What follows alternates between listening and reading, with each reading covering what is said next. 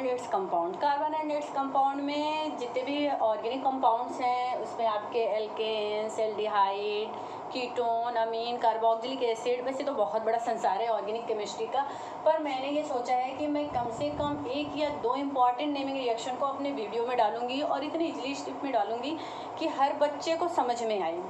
तो आज मैंने जो टॉपिक उठाया है, वो है आपका एलिफेटिक अमीन एलिफेटिक अमीन और एलिफेटिक अमीन्स बनाने के लेबोरेटरी मेथड या ऐसे कोई भी जो बहुत ही इंपॉर्टेंट रिएक्शन है।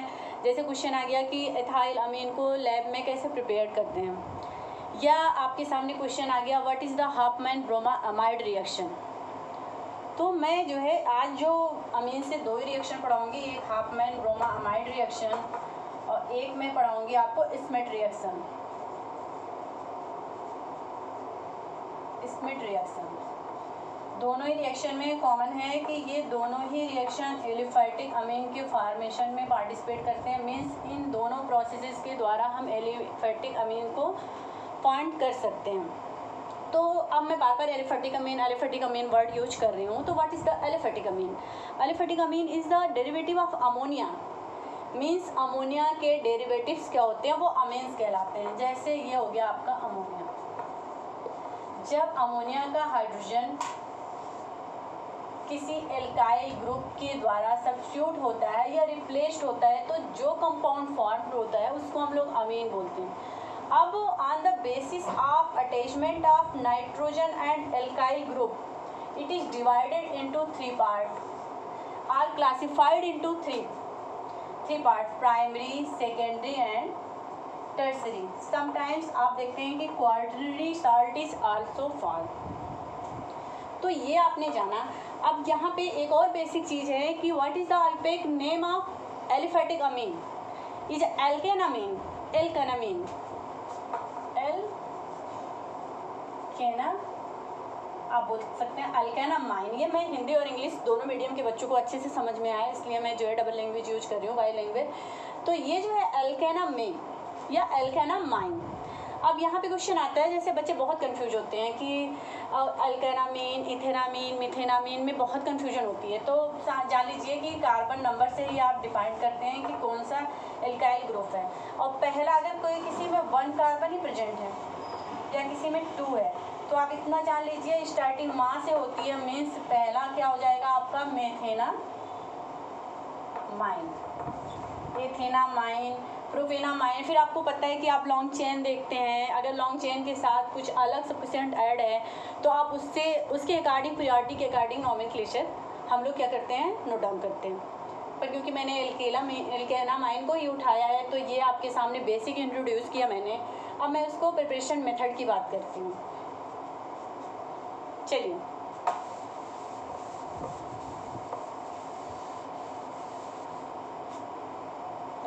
ये है आपके सामने। सबसे पहला रिएक्शन मैं लिख रही हूँ Hofmann bromamide reaction कभी कभी क्या होता है कि जैसे इसमें रिएक्शन है तो इसमें तो आपको नहीं समझ में आ रहा है कि कैसा रिएक्शन होगा। कभी कभी रिएक्शन के नेम में ही क्या होता है कि आपका रिएक्टेंट या प्रोडक्ट का सीक्रेट छिपा होता है, जैसे हाफ़ मैन ब्रोमा अमाइड मतलब ये कहीं अमाइड की बात कर रहा है और प्लस ये ब्रोमा की बात कर रहा है। ब्रोमा मीन्स ब्रोमीन वाटर ठीक है?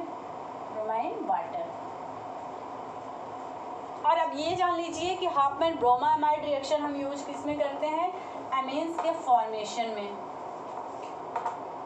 Formation of aliphatic amines amide bromine और एलिफेटिक अमीन तो चलिए लिखते हैं अमाइड को। तो हाफमैन ब्रोमामाइड में रिएक्शन क्या होता है? When amide is treated with bromine water and potassium hydroxide the aliphatic amine is form और प्राइमरी अमीन इज़ फॉर्म तो ये हमारा हो गया अमाइड और ये हो गया आपका ब्रोमीन वाटर हीट कर दीजिए। प्राइमरी अमीन हमारा क्या होता है? वाटर जाता है। अब इस पे आर एल्काइल ग्रुप है। आप किसी को भी ऐड कर सकते हैं। यहाँ पे देखिए नंबर आप, एक नंबर कार्बन क्या होती है? डिक्रीज होती है। ये भी पॉइंट नोट करिए। एक बहुत इंपॉर्टेंट पॉइंट है कि इसमें alkyl isocyanate isocyanate as intermediate find होता है एस इंटरमीडिएट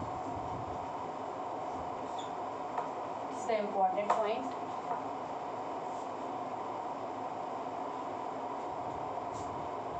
कि एक्चुअल में इसमें रीअरेंजमेंट रिएक्शन होता है या इसको आप कभी कभी Hofmann bromide degradation reaction भी बोलते हैं। इसमें क्या होता है? आपका एल्काइल इसके साथ शिफ्ट हो जाता है और यहाँ पे बना लेता है ये बॉन्ड और ये बनता है आर एन सी ओ ये है आपका एल्काइल आइसोसाइनेट थ्री पॉइंट याद करिएगा कि हाफमैन ब्रोमाइड में अमाइड अमीन में कन्वर्ट होता है। ब्रोमीन वाटर और पोटेशियम हाइड्रोक्साइड के प्रेजेंस में। लेकिन एक इंपॉर्टेंट क्वेश्चन लिखिएगा। एक इंपॉर्टेंट नोट करके लिख दीजिएगा कि alkyl isocyanate is must be prepare as intermediate means alkyl isocyanate का बनना ज़रूरी है। ये फिर आइसोसाइनेट ही हमारा किसमें कन्वर्ट होता है? एल्काइल अमीन में। मैं इसका मैकेनिज्म भी आपको बताऊँगी, पर अभी मैं आपको इसको इंट्रोड्यूस कर रही हूँ। या आपको बहुत सिंपल वे में समझाना चाह रही हूँ कि अगर किसी कम्पिटिटिव एग्ज़ाम में या ऐसे कोई ये रिएक्शन आ गया कभी कभी कंप्लीट करने को आ गया, या ऐसे ही पूछ लिया कि हाफमैन ब्रोमाइड रिएक्शन में कौन सा इंटरमीडिएट बनता है तो आपको कन्फ्यूज़ करने के लिए बहुत सारे ऑप्शन देंगे तो आप एल्काइल आइसोसाइनेट लर्न करिएगा और ये फार्मूला आर एल्काइल ग्रुप है it's may be methyl ethyl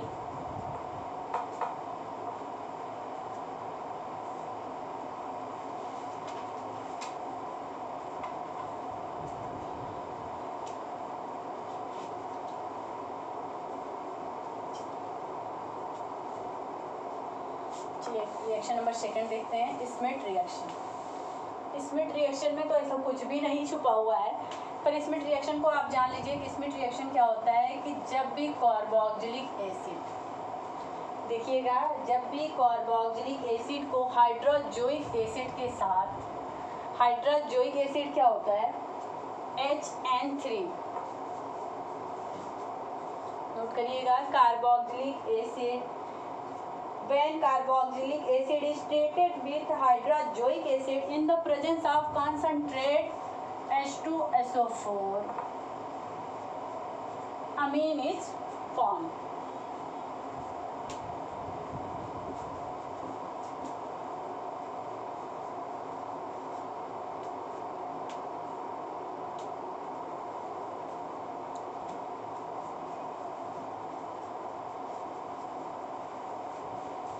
nitrogen gas.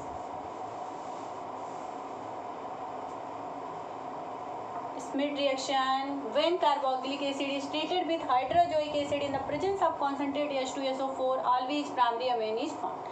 यहाँ पे भी एक कार्बन कम होता है और ये आपके CO2 के टर्म में क्या होता है रिलीज़ हो जाता है ठीक है और बहुत सारे प्रोसेस होते हैं जैसे साइनाइड का रिडक्शन कर देते हैं तो भी आपका अमीन बनता है इसमें जो है कार्बन कम नहीं होता है। यहाँ पे क्या हो जाता है? R C H two N H two अब आपको रिडक्शन रीजन पता होता है, जैसे S N S C L ले लिया गया। ठीक है? तो यहाँ पे आपका क्या होता है?